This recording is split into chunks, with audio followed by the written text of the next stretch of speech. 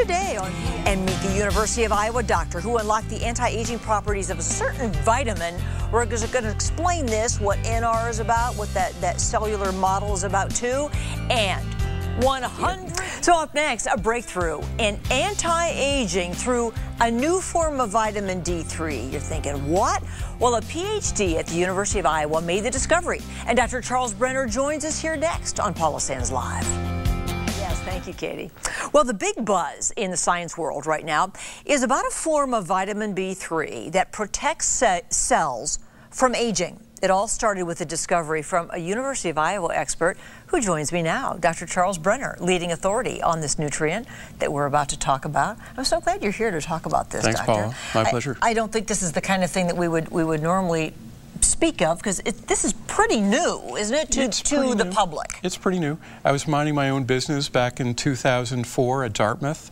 I was working on the synthesis of NAD, which is the central regulator of metabolism, and we found essentially a new vitamin, another way to boost NAD. Well, you have a lovely, um, remember science class, everybody?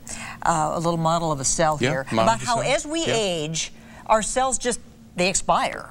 Right. right? Well, one, one, of the key things is that NAD, which is the central regulator of metabolism, is required for many, many functions. So in, in the nucleus here, it protects DNA from damage, it helps with gene expression and sort of maintaining youthful gene expression. And out here in the cytoplasm and in the mitochondria, it's involved in converting food into energy, cellular ATP, as well as promoting resiliency due to helping us resist reactive oxygen stress.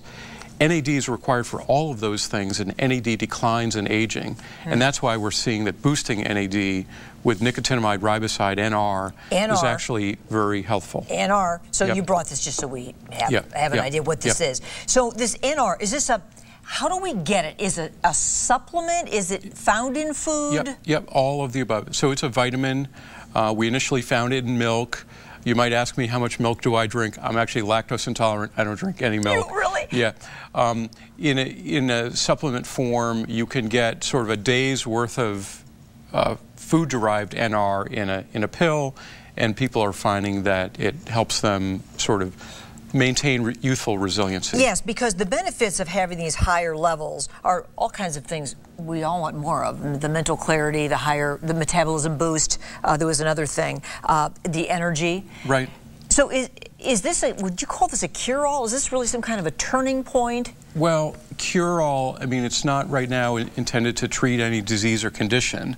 So it's used by healthy adults, although we are testing it in uh, animal systems and we basically find that animals that are under metabolic stress, like type 2 diabetes or chemotherapy treatment, hmm.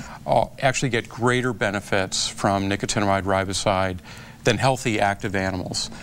Okay, so, so uh, again, uh, the simple way of explaining NR is that it is a unique form of vitamin D, I'm B3. sorry, B3, B3. B3. Yep. And if you look, there's a, a website you uh, are directing us to. Yes. About NR. AboutNR.com. So we're not selling here anything here. We just, we want people to get real evidence-based information about NR. So AboutNR.com. And I appreciate uh, that. So we're not selling a supplement here at all. But I know people at home are saying, well, I, I would like to take something so I can boost my NAD. Yeah, know, so yeah. get this NR in. Am I going to find it at a health food store? Yeah, you'll find it on the internet, and okay. yeah, yeah, no question about it. It's on the market. Yes, nicotinamide riboside is is manufactured safely, GMP production, mm -hmm. and it's been clinically tested. It boosts NAD in human beings. It's orally available, and it's generally regarded as safe by the Food and Drug Administration. Do you take it? Yes, I do.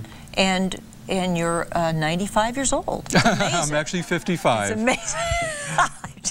no, really, I would say it's worked well. Yeah, so the, the, the, research continues on this? Yes, absolutely. So we're doing things in animals, we're testing it in people, and we expect that the uh, story is really just beginning about the benefits of NR. And I, going on in Iowa City right now. Yes, it is. Dr. Brenner, I'm so glad you were here today. Thanks, my All pleasure. the best to you. Thank you so much.